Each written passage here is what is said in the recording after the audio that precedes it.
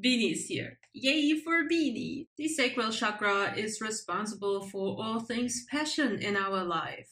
That also includes our sense of self, our self expression, our life choices, whether we approach a situation from an overindulging mindset or a restrictive mindset, for instance. It influences our drive in life, our sexuality, our desires, our sensations, and even the power dynamics in our relationships. From a more medical perspective, the sacral chakra is associated with our nervous system, our cardiovascular system, our urinary system, our reproductive system, and all the including organs. It also includes body parts like our hips, our pelvis, our joints, our bladder, and it also includes our brain in terms of, for instance, ADD, ADHD, or hypersensitivity.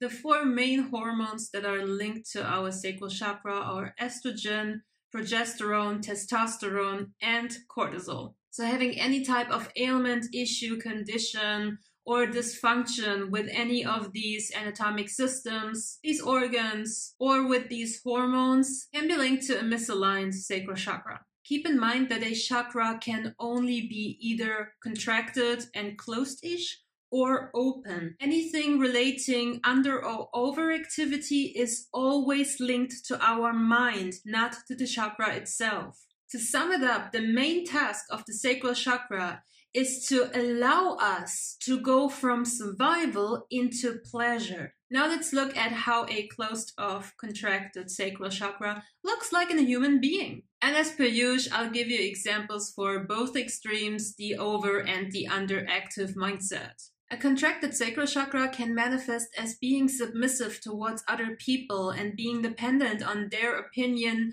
their guidance, their lead, and their advice. On the flip side, it can manifest as being super dominant and controlling over others at all costs. Both ways translate into manipulative and micromanaging behavior either by being abusive towards self, self-sacrificing, people-pleasing, and self-punishment, or as being abusive towards others. And that means any type of abuse, mental, sexual, emotional, and physical. People with this issue in their sacral chakra usually have a fear of intimacy. They have a tendency to be incredibly judgmental towards others. However, they tend to be very fragile and insecure themselves. They have a tendency to be sensitive, non-resilient, and easily get overwhelmed by any type of perceived pressure. They harbor strong feelings of guilt and shame and tend to be either incredibly avoidant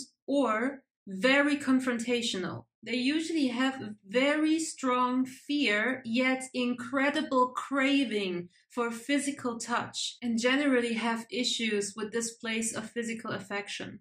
People with these issues always look for outside sources to either escape their reality and situation or to enforce control over it. This can look like an excessive alcohol consumption or staying completely away from alcohol for the sake of not losing control. These people are very prone to a specific kind of addiction. So in standard addiction, people know that they have one substance, one thing, one behavior that they fall into over and over again and they struggle getting rid of this but it's very obvious. And when they do have the awareness, they can pinpoint it down. It is one specific thing. People with a dysfunctional sacral chakra, however, have a more flexible type of addiction.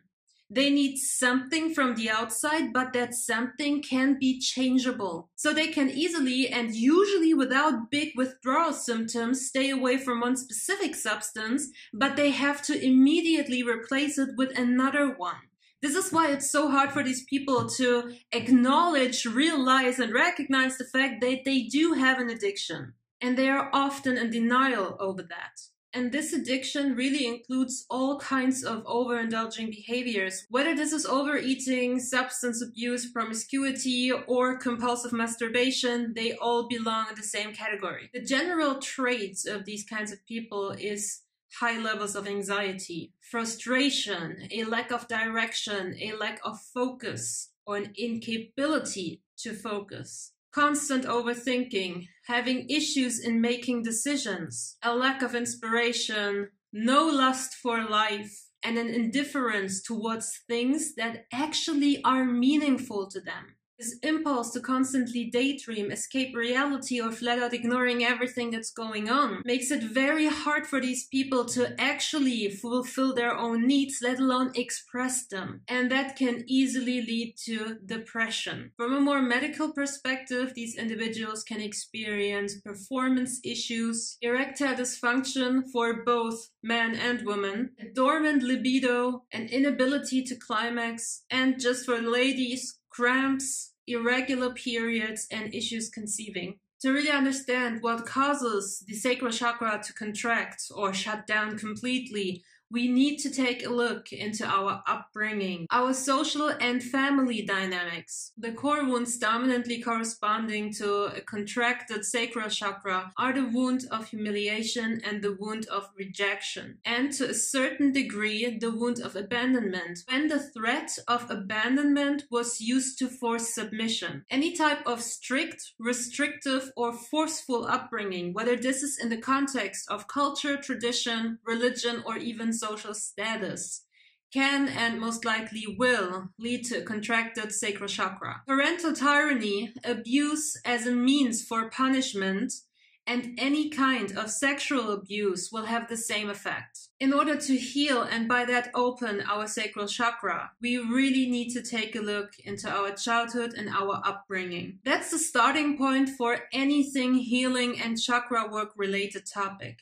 Aside from core wound healing and inner child healing, we also need to look at shame and guilt. We need to understand where our sense of shame and guilt is coming from, why we are holding on to it, and then learn to detach and release it.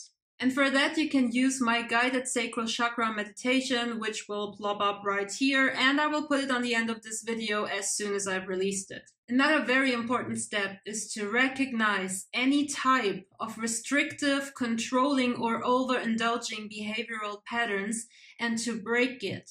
And for that, I invite you to watch my video on breaking patterns. I'm gonna drop it in the comment section for you. In a more day-to-day -day manner, you can support the opening and stabilization of your sacral chakra by creating. Any type of creative process will do. Whether it's creating music, painting, building something, or writing something, any type of activity where you are in a creative process will immensely help you if you notice any issues or restrictions in your sexuality, and now we have Burrito here. Hi, Burrito. If you experience Burrito.